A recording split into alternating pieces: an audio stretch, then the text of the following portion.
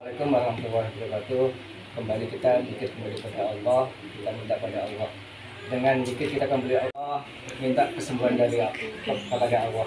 Ah, ini di Putra Rahman tidak bisa berdiri, tidak bisa nyebrang sekarang alhamdulillahirobbilalamin sekarang bisa mengambil dengan jari dan alhamdulillahirobbilalamin sudah bisa berdiri karena kembali kita kepada Allah. Uh, moga-moga aja dengan doa-doa para sedulur, moga-moga aja semuanya di Putra Rahman semoga cepat bisa jalan, semoga Amin. cepat bisa sekolah. Amin. Oke. Uh, gimana Bu menurut kesaksian Ibu sendiri? Alhamdulillah sudah bisa. Ya, dari ya. Alhamdulillah. Ya, saya positif. Pada Allah.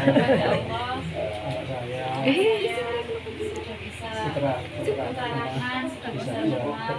Semoga cepat Semoga bisa cepat jalan dan normal kembali. Amin amin ya rabbal alamin.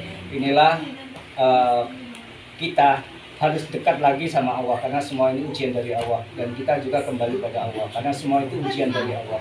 Allahumma amin ya rabbal alamin. Amin.